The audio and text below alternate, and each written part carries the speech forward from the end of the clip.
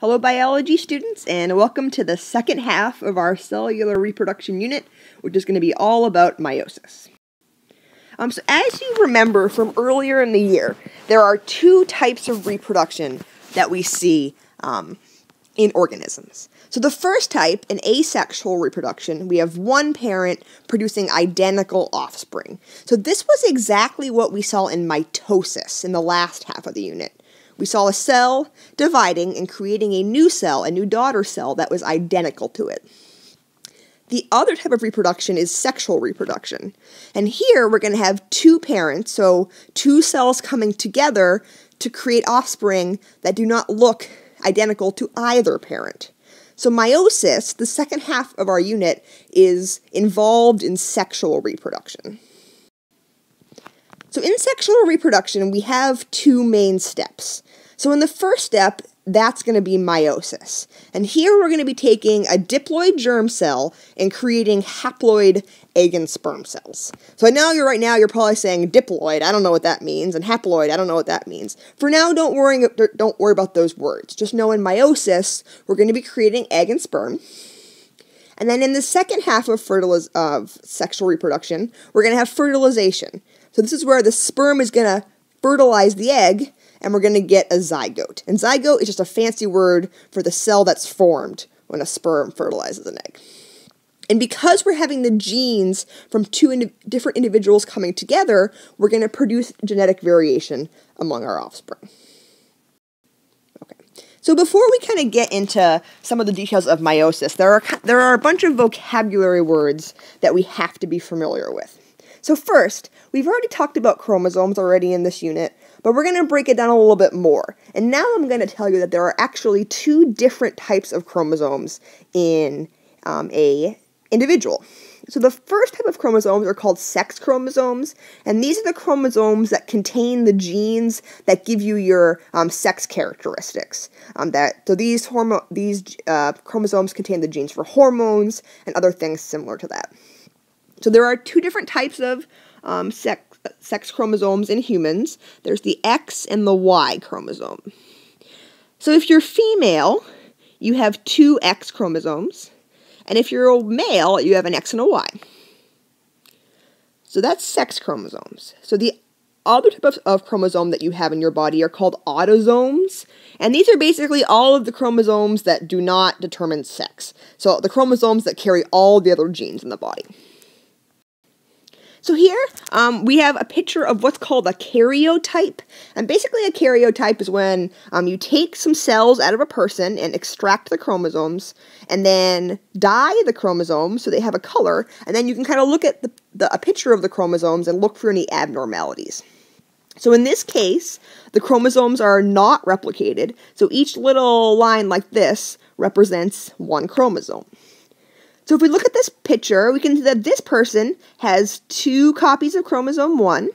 They have two copies of chromosome 2, two copies of chromosome 3, etc., etc.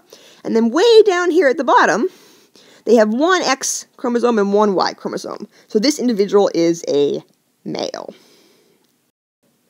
So what you may have noticed in the previous picture is that in a human, we we have 23 different chromosomes, but we actually have two copies of each of those chromosomes. So back in that previous picture, we had two chromosome 1s, two chromosomes 2s.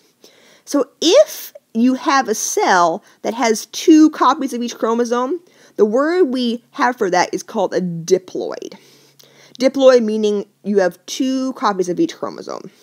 We also um, can refer to that cell as being 2N, where N refers to the number of distinct chromosomes. So we have 23 copies, I mean, sorry, 23 chromosomes and two copies of each. So we refer to um, our cells as being 2N or diploid. Okay. So in this picture, um, it it becomes much more clear that we are a diploid organism. So in this case, the chromosomes are already replicated, so they're in their X form instead of the form we saw in the last karyotype. And you can see if you look, we have two copies of chromosome 1, two copies of chromosome 2, etc., etc., until you get all the way down to the sex, chromo- sex chromosomes and see we have a copy of the X and a copy of the Y. Okay. So at this point, you might be wondering, well, why do we have two copies of each chromosome?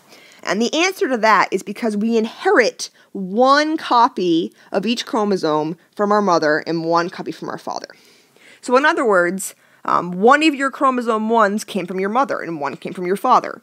Uh, one of your chromosome twos came from your mother and one came from your father. So, when the sperm fertilizes the egg, the sperm has one copy of each chromosome and the egg has one copy, and that results in a cell that has a pair of each chromosome type. Now, if we were in class, now I would ask you the question well, do you think the two copies of each chromosome are identical? Um, but unfortunately, I can't ask you that now. But the answer is no, because they came from different parents, and different people have different versions of different genes. Um, so, the next vocabulary word I want to introduce you to is the word homologous chromosomes, or homologs. And this is just the word we use to refer to a pair of chromosomes. So the two copies of chromosome 1 are called homologous chromosomes. Uh, the two copies of chromosome 2 we call homologous chromosomes. It's just a vocab word we use to refer to the pair. Okay, so here's a picture of some homologous chromosomes. So up here, the chromosomes on top, you can see I refer to this pair of chromosomes as homologous because it's the two chromosomes that go together. Um, homologous chromosomes have the same genes on them, but they might have different versions of a gene. So, for example, if you look at this pair of homologous chromosomes, they both have the B gene, but this blue chromosome over here has the lowercase b version of that G gene, and this chromosome on the right has the capital B version of that gene. So, to kind of put this in terms that might make sense to you, we could say that both chromosomes have the gene for eye color, but the one on the left has the version of the gene for blue eyes, and the one on the right has the version of the gene for brown eyes. Same genes, different versions of those genes. Okay. So th- this slide is reiterating just that. So in your body, almost all of your cells, all body cells are diploid. Almost all of your cells have two copies of each chromosome. And homologs they again, they have the same gene. So in this case, both of your chromosome ones might have the gene for eye color. But because those genes came from different parents, they might have what we call different alleles. So allele is just a version of a gene. So in this case, one parent might have the allele for brown eyes, and the other parent might have given you the allele for blue eyes. In humans, we have 46 chromosomes total, which means that we have 23 pairs of homologous chromosomes with the same genes but different versions of those genes or different alleles. Okay. Um, so this slide just kind of iter- reiterates some of the vocabulary um, we've been going over um, the last couple slides. So again, homologs, that's just another word for homologous chromosomes or the two or the two chromosomes in a pair of chromosomes. And again, these chromosomes look exactly the same. They have the same size, they have the same shape, they have the same genes, but they have different versions of those genes. Um, allele is just the fancy vocabulary word we have for version of a gene. Um, so an example, if an example of a gene is eye color, and then the alleles of that gene would be things like brown, blue, green, or hazel. Um, and then finally, don't confuse sister chromatids with homologous chromosomes. Sister chromatids, remember, are the two identical copies of a chromosome we make during S phase, where the two homologous chromosomes are just the two versions of the same um, chromosome that you inherit from both your mother and your father. So, like we said earlier, most of the cells in your body are diploid, but you do have some haploid cells in your body. So, haploid are cells, haploid cells are cells that only have one copy of each chromosome. So, for example, sperm and eggs, they only have one copy of each chromosome. So, they only have 23 chromosomes total. And we can refer to these, these cells as either haploid or 1N, meaning they have one copy of the set of chromosomes. And it's kind of a good thing that sperm and eggs have only are, are haploid because if I'm gonna get a sperm to fertilize an egg, that means the sperm is at is adding its DNA to the egg's DNA, and therefore, after fertilization, if we start with haploid cells with only one N, we'll end up with a fertilized egg that is 2N, which is, which is exactly where we want to be if we're going to create a new individual. Okay. So in fertilization, I take the spermatozoa, which is really just a fancy name for the word sperm, that's one N, and it fertilizes the ovum, which is a fancy word for, for an egg, which is also haploid. So now I'm getting two nuclei coming together to create one diploid cell, which we call a zygote. And then that zygote will then undergo mitosis to create an entire individual. So here we can see the same thing in picture form.